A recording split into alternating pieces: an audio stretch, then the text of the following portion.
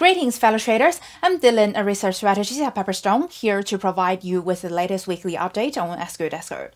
Gold underwent a significant reversal in the past week, with a dynamic interplay between sellers and buyers, driven by data flow, currently favoring the latter.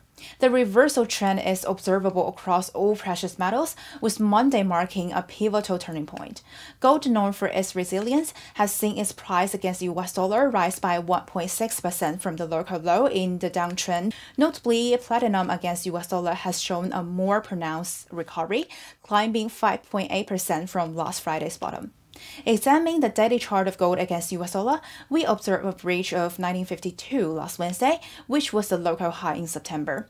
After a day of consolidation around the support zone, buyers didn't linger and bears returned, pushing the price down to 1933, the 38.2% Fibonacci retracement level of the October rally. Since then, gold has soared, uh, reclaiming 1952 and currently trading at around 1963. If the uptrend persists, the psychologically important level of 2000 remains a key monitor, considering the compromised effectiveness of 1981 due to a series of breakthroughs. The recent rally's high of 2009 serves as a second resistance. On the downside, 1933 acts as robust support, but the 200-day moving average might be the initial touch point. The initial part of this story revolves around diminishing concerns over geopolitical conflicts, resulting in reduced hedging needs and the preference for riskier assets with positive returns.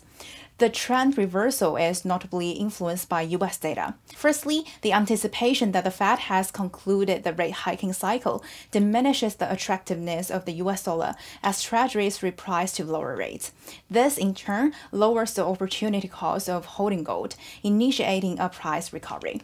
The cooler than expected October US CPI reinforces the consensus that the tightening cycle is ending, leading to a significant drops of over 20 basis points in two year and 10 year yields, prompting a nearly $17 surge in gold prices. Secondly, the current US real rate is 2.39%, around 47 basis point lower than the peak level three weeks ago. And OIS suggests two cuts by July 2024, contributing to the positive momentum in gold prices.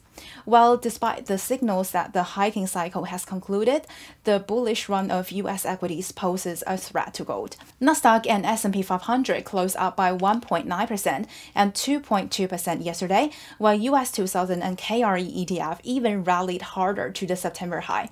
Gold as a zero interest asset appeared to be less competitive. In summary, a notable reversal is observed in the gold market, led by bullish trend, with fading concerns over the Middle East conflict and a potential US government shutdown, coupled with the aftermath of a cooler US CPI, or in other words, a well-controlled inflation. Gold is becoming attractive again. While the impressive equity performance performance presents short-term risks.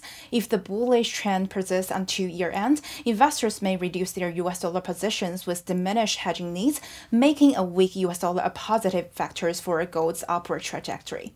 So that's all for this week. Stay tuned with Pepperstone for more insight and updates, and until then, happy trading!